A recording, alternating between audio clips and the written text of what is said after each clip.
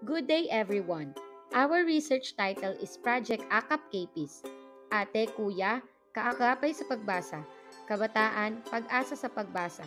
A reading intervention program to enhance students' reading performance in Kaypaaba Elementary School amidst the pandemic. The authors, Christine G. Belando and Angelique A. Manalo. Introduction Based on the monthly result evaluation, Kaypaaba Elementary School discovered that several of the students' reading levels have decreased. Our school has specific requirements and must change to meet those requirements. After assessing our pupils' reading levels, we develop a needs intervention program or activities that are seen as the only way to reach them.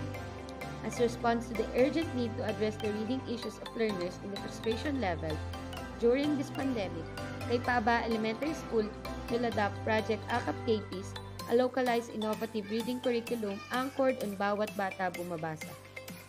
With the support of our partner Sangguniang Kabataan ng Kaypaba, we were able to modify and enhance print resources in modular distance learning to continue helping struggling readers in the COVID-19 pandemic. Research problems 1. What is the reading level of the learners before the implementation of the program? 2. What is the reading level of the learners after the implementation of the program? 3. Is there a significant difference before and after the implementation of the program? 4. What are the perceptions of the kuyas and ates after the implementation of the program? 5. What other supplementary programs will be crafted to continuously monitor the progress of the learners? Innovation, Intervention, and Strategy Kaakap tipis ate kuya kaagapay sa pagbasa, kabataan pag-asa sa pagbasa. A reading intervention program to improve students' reading performance in Kaypaba Elementary School is a continuous program banded by a memorandum of agreement between the Sangguniang Kabataan or the Ates and Kuyas and the teachers. Teachers supplied reading resources to learners at the frustration and instructional levels, but this study focused on students in frustration level.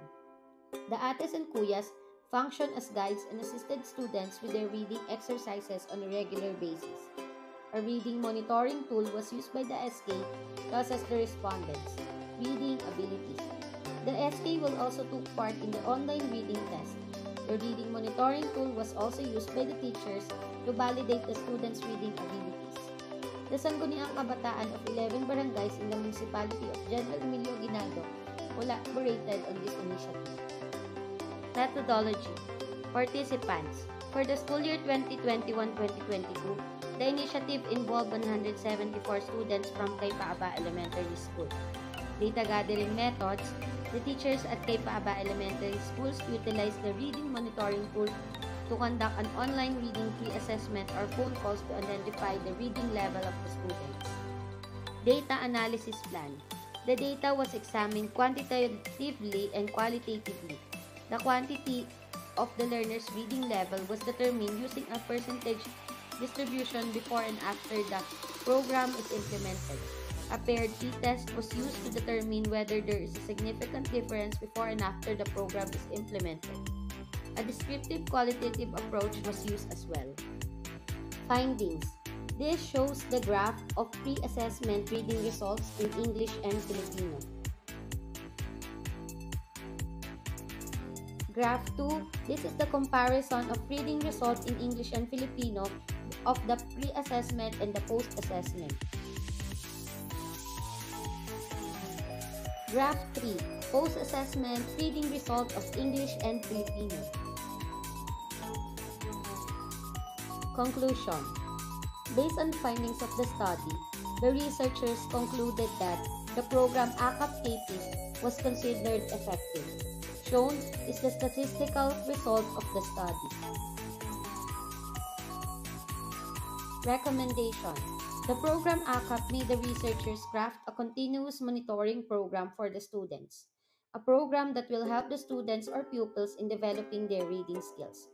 This is the supplementary programs crafted that will enhance students' reading skills.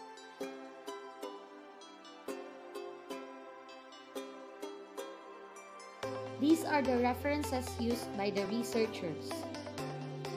Thank you so much and have a good day to all.